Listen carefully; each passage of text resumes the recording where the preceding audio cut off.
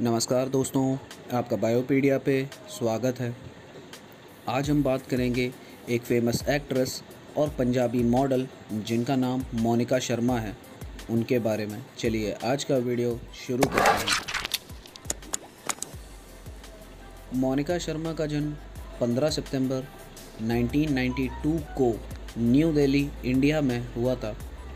इनकी पढ़ाई happy model school Janakpuri से हुई है।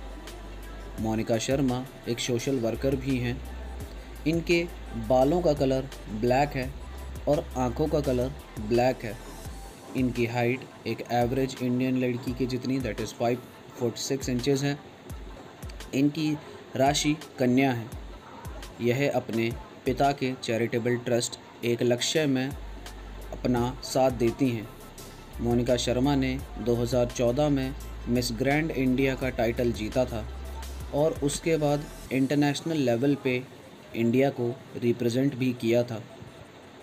इंटरनेशनल लेवल पे इन्हें बेस्ट कॉस्ट्यूम का प्राइज़ मिला। यह बहुत ही ज़्यादा सुंदर दिखती हैं और इन्हें फ़िट लाइफस्टाइल जीना पसंद है।